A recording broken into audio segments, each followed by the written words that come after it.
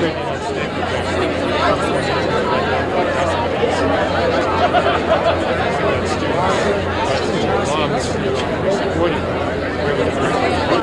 I suspect, students will pick up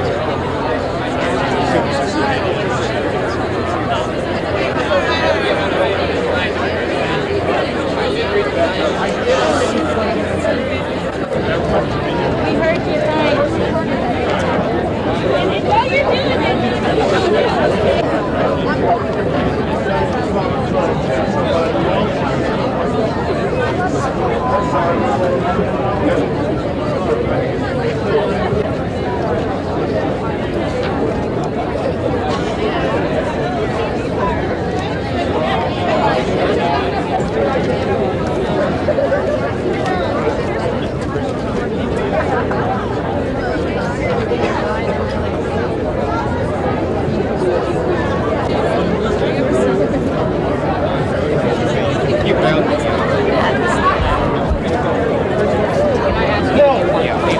There are a lot of friends here who are on and it is great. She needs to be back. Please walk in with that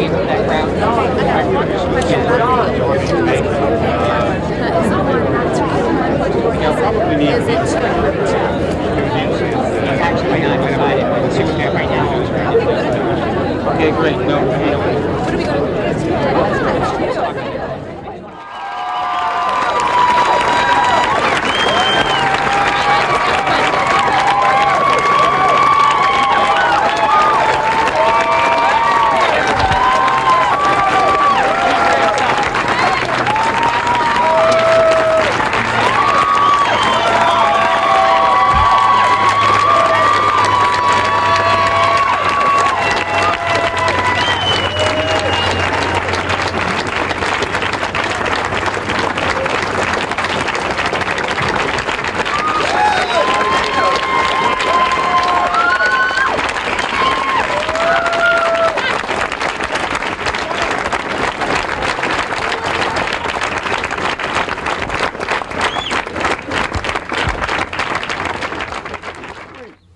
I remember that the black law students had organized an orientation for the first year students.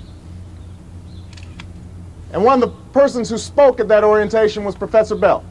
And I remember him sauntering up to the front and not giving us a lecture, but engaging us in a conversation and speaking the truth and telling us that he has to learn at this place that I've car- carried with me ever since. Now, how did this one man do all this? How's he accomplished all this? He hasn't done it simply by his good looks and easy charm. Although he has both in ample measure. He hasn't done it simply because of the excellence of his scholarship. Although his scholarship has opened up new vistas and new horizons and changed the standards of what legal writing is about.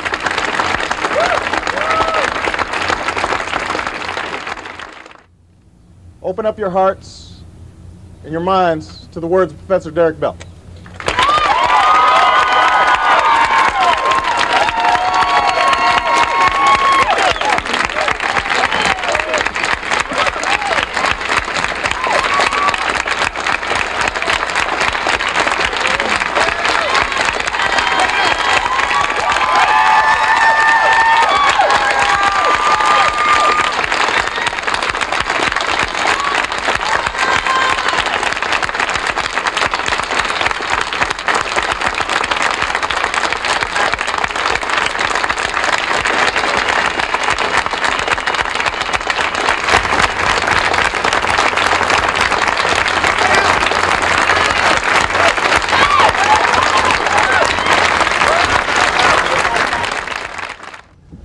It may be significant that the student stands here and delivers a mighty address without notes.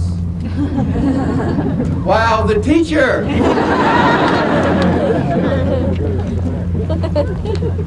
There's only one correction.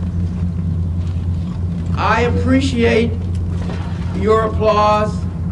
I appreciate Barack's kind words. But it was not me that made all of this possible. I want you to understand that while I have been here for two decades, I have not forgotten that my appointment represented the culmination of years of student struggle. I remember as well that for the first 150 years of its history, the faculty at Harvard Law, the oldest existing, most prestigious, and in the view of many, the best law school in the United States, was all white and all male. That is a horrible history, not remediable by plaintiff pleas of mea culpa, combined with the token appointment of members of the victim class who are least likely to remind the school of its past racist hiring record.